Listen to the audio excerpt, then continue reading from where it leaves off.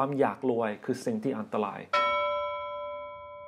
ไม่ได้บอกว่าเงินทองมันเป็นความบาปในตัวมันเอง แต่พระคัมภีร์ก็สอนชัดเจนในเรื่องอันตรายของการลักเงินของความโลภอย่างที่เปาโลได้สอนเราว่า ถ้ามีอาหารและเสื้อผ้า เราก็ควรพอใจในสิ่งเหล่านั้น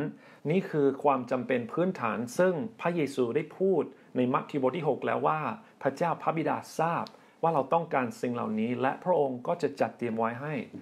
เราจะต้องแสวงหาอาณาจักรของพระองค์ และความชอบธรรมของพระองค์ก่อน และพระบิดาจะจัดเตรียมสิ่งเหล่านี้ให้เรา ต่อมาจากนั้นนะครับ เปาโลพูดในข้อต่อไปข้อ 9 นะครับว่า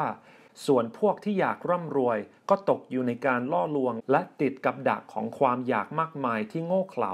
และอันตราย ซึ่งฉุดคนเราให้หลงไปสู่ความพินาศและความย่อยยับ ในข้อที่ 9 นี้เปาโลกำลังให้เราเห็นอันตรายของความอยากรวยนะครับ ความอยากรวยสามารถพาคนเราไปสู่ความพินาศนะครับ ให้เรา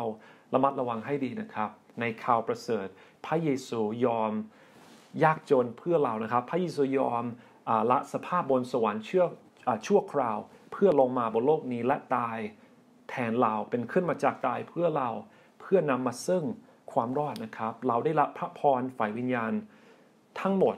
โดยทางพระเยซูคริสต์อย่างที่เราเห็นในเอเฟซัสเอเฟซัสบทที่หนึ่ง